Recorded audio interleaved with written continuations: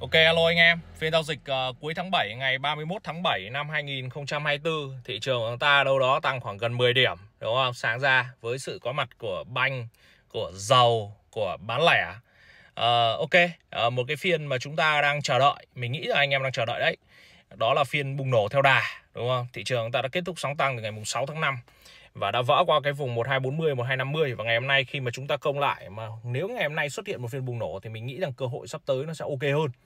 Vậy thì chúng ta đang chờ đợi cái sự xác nhận đó. Vậy thì hôm nay liệu có là một cái phiên bùng nổ không? Thì mình đánh giá là cũng 50 50 đấy, cũng 50 50. Sáng nay chúng ta thấy là thanh khoản thị trường là cũng gia tăng rồi. Thanh khoản thị trường đã lên tới 7.300 tỷ. Tốt nhá. Tại vì sao? Tại vì với bùng nổ theo đà giai đoạn này thì anh em không đòi hỏi nó nó được nhiều đâu anh em cũng không đòi hỏi là nó quá là nhiều ví dụ như là anh em thấy là bình thường buổi sáng ta chỉ được có ba bốn nghìn tỷ thôi, trong giai đoạn vừa qua. Thì bùng nổ theo đà, thông thường cái cây này mình nghĩ rằng nó sẽ đâu đó nó được khoảng, ngày hôm nay sáng nay được 7.300 tỷ là gấp đôi rồi. Vậy thì bùng nổ theo đà, cây này nó được khoảng 15 17 nghìn khoảng 17 nghìn thì mình nghĩ nó sẽ là tích cực khoảng tầm 17 nghìn. Chứ nó thấp quá thì cũng rất là khó, thấp quá rất là khó. Dòng tiền hiện tại thì mình thấy nó vẫn đang tập trung, sáng ra thì nó vẫn đang tập trung ở banh. Nó vẫn đang tập trung ở một, hai con bán lẻ mà river banh thì nó tập trung ở HD Bank ở Bit mà B thì hôm nay cũng chưa xuất sắc lắm. Tại vì va lại cản đỉnh đúng không? Nhưng mà giai đoạn vừa qua thì cũng đã ok rồi. À, chúng ta có giàu có BSR với game chuyển sàn đúng không? Đấy nó đơn lẻ hay là chúng ta có Vinamilk? Thực sự là nó điều tiết bằng Vinamilk thì mình nên là mình với tương đối là 50 50 nên là mình sẽ chờ thị trường nó xác nhận một cái phiên rõ ràng đi. Xong rồi chúng ta sẽ đánh giá xem là con nào sẽ là con mạnh nhất để hai ba phiên tới chúng ta sẽ khi mà thị trường nó rung lắc nó điều chỉnh chúng ta tham gia tại vì là với cái việc mà nó bùng nổ một cái cây mà đâm lên 50 20 thì mình đánh giá là uh, tỷ lệ nó vẫn là 50 50 anh em nhá. Còn cái việc mà uh, khi mà vào tỷ trọng thì đoạn này mình nghĩ rằng anh em với cơ hội nó ít như thế này thì mình nghĩ anh em nên vào dần. Với tỷ trọng đoạn này tạm thời cứ dưới 30% đã. Còn nếu hôm nay xác nhận bùng nổ thì chúng ta sẽ gia tăng thêm khoảng 10 20% trong thời gian tới chẳng hạn. Đấy tại vì mình thấy dòng tiền nó cũng chưa lan tỏa nhiều. Tại vì nó vẫn đang đơn thuần ở banh thôi. Chiều nay mình cần cái sự lan tỏa đó hơn. Ví dụ lan tỏa ra chứng khoán, nó lan tỏa ra bất động sản, để nó tạo ra một cái nhịp hồi phục nó tương đối là ok, nhá. Còn tạm thời thì vẫn đơn thuần là hồi lên đang test lại M20 hy vọng rằng hôm nay chúng ta sẽ tạo ra một phiên bùng nổ. Cái phiên bùng nổ này nó quan trọng lắm. Kể cả nó bùn cháp cũng được, nó rất là quan trọng. Nhiều anh em bảo là bùng nổ này có bùn cháp hay không, mình không quan trọng cái vấn đề đấy. Nó quan trọng là nó xác nhận rằng là ừ cái đáy 122x nó đang là cái đáy ngắn của thị trường đã. Xong rồi chúng ta sẽ tính tiếp thời gian tới nó có bull cháp hay không thì lại tính tiếp. Có vào ôn đâu có vào tỷ trọng vào suốt đâu. Tức là ví dụ chúng ta sợ bull cháp chúng ta sợ là ừ nó kéo nó không lan tỏa chúng ta đánh ít thôi.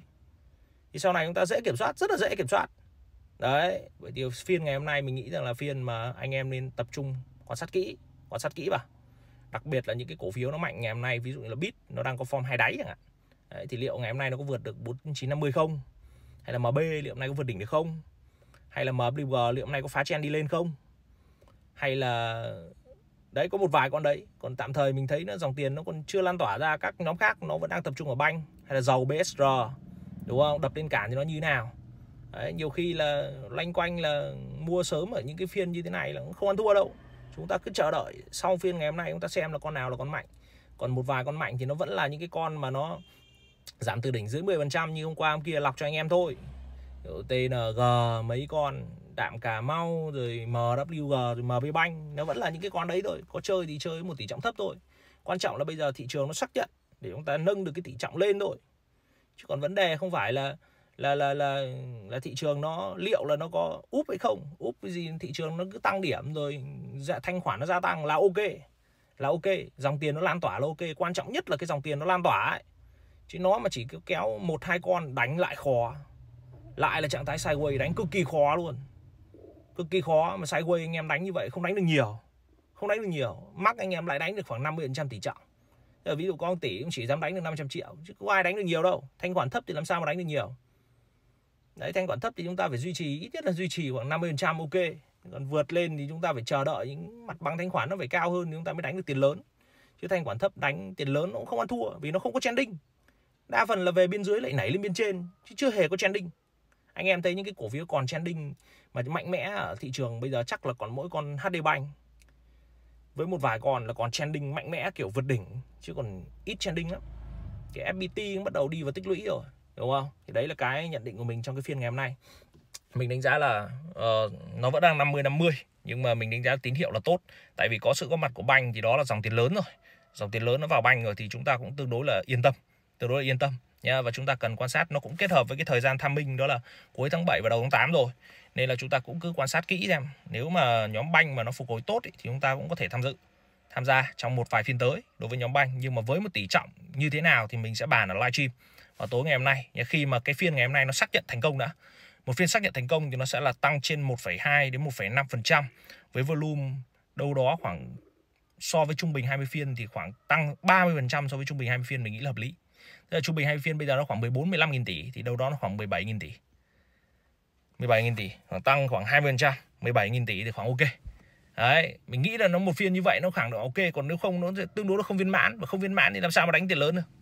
Không viên mãn thì tỷ trọng chắc anh em vẫn đánh khoảng 30%, chờ đợi thêm những cái phiên mà nó nó support phía sau xong chúng ta sẽ xem xét như thế nào nhá yeah. nói chung trạng thái của mình đến hiện tại vẫn rất là ba phải chờ mua chờ mua còn mua cái gì thì chúng ta phải đánh giá chờ phiên ngày hôm nay. Chờ những cái phiên xác nhận nó xác nhận xong chúng ta xem là mua cái gì chúng ta mới cân đối.